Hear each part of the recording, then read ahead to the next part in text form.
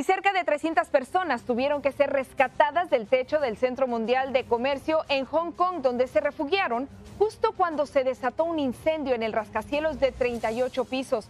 El fuego comenzó en la sala del equipo eléctrico en uno de los niveles inferiores y rápidamente se propagó a los andamios que rodean esa torre, la cual se llenó de humo.